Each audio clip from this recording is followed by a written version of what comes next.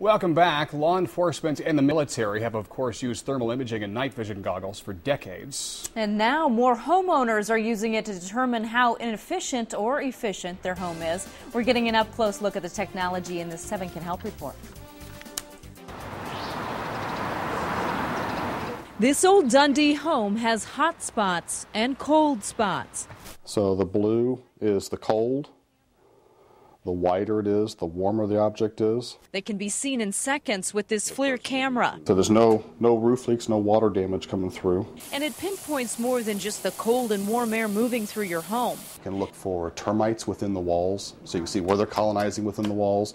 You can do HVAC problems, so looking for cracked heat exchangers, um, condenser coils that are outside, where they're clogged at. The extremely sensitive technology picks up just a tenth of a degree in thermal differences. Watch as Dorhoff demonstrates by placing his hand on a wall. The camera can pick up the body heat and the print. More and more contractors are finding the technology helpful. We're able to walk around with the homeowner and show the homeowner exactly what it looks like within their walls. Contravail has an insulation company and has already used the infrared technology in about 80 metro homes, allowing him to first see the problems without doing any destruction to the home.